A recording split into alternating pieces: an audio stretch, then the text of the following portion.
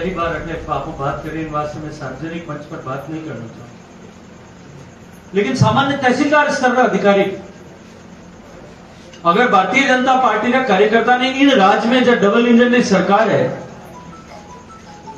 और वो कोई जा और भारतीय जनता पार्टी में जिम्मेदार कार्यकर्ता, सीनियर आदमी अगर जार भी हो केवे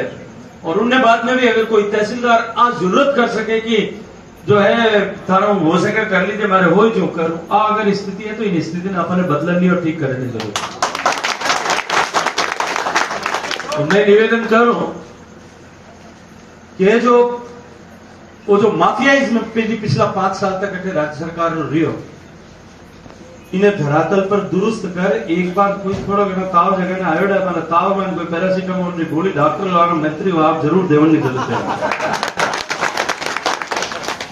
क्योंकि जितना तरह समाचार में जब लोग मारे, सैकड़ों लोगों मारे दिन में मिलने गए कोई टेलीफोन पर बात हुए आज समाचार थोड़ा यूँ हक राकरा नहीं आ रहे, थोड़ा अपने जोश लाने की ज़रूरत। लेकिन मैं आपने भरोसा दे रहा हूँ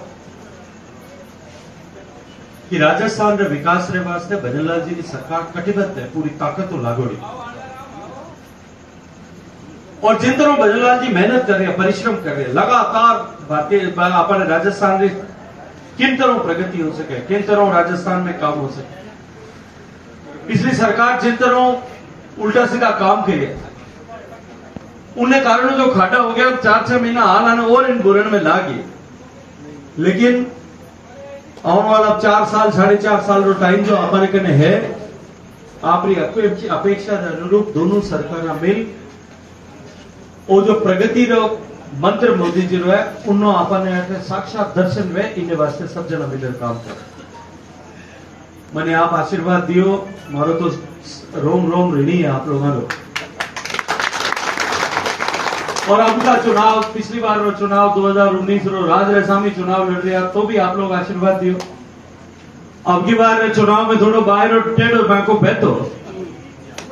मैं पूछू भी भाई, कि कोई मारो, कोई नाराज़गी नहीं? आप तो नहीं है, हम तो बीजेपी में थोड़ा मारो हाथ कम किए।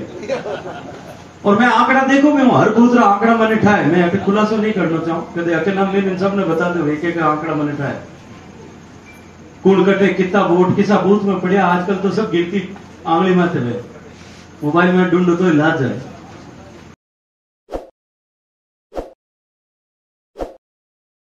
ताज़ा खबरों के लिए विज़िट करें द फैक्ट इंडिया की वेबसाइट और डाउनलोड करें द फैक्ट इंडिया ऐप।